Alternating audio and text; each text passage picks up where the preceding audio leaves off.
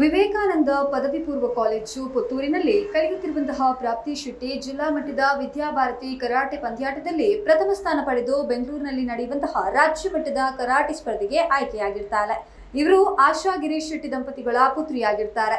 ನರೇಂದ್ರ ಪದವಿ ಪೂರ್ವ ಕಾಲೇಜು ತೆಂಕಿಲ ಪುತ್ತೂರಿನಲ್ಲಿ ಕಲಿಯುತ್ತಿರುವ ಸಾರ್ಥಕಕ್ಕೆ ಜಿಲ್ಲಾ ಮಟ್ಟದ ವಿದ್ಯಾಭಾರತಿ ಕರಾಟೆ ಪಂದ್ಯಾಟದಲ್ಲಿ ತೃತೀಯ ಸ್ಥಾನವನ್ನ ಪಡೆದಿರ್ತಾರೆ. ಇವರು ಕೇಶಾವತಿ, ಕೆ. ರವಿ, ಕೆ. ದಂಪತಿಗಳ ಪುತ್ರರಾಗಿದ್ದಾರೆ. ಈ ಇಬ್ಬರು ವಿದ್ಯಾರ್ಥಿಗಳು ಸಿನ್ಸಾಯಿ, ಮಾಧವ, ವಿಟ್ಲ ಇವರ ಮಾರ್ಗದರ್ಶನದಲ್ಲಿ Rohit, S. N. Nikhil, K. T. Rohini Pavana Nivedita Bhavish Sudeen, karate ತರಬೇತಿಯನ್ನ ನೀಡುತ್ತಿದ್ದಾರೆ.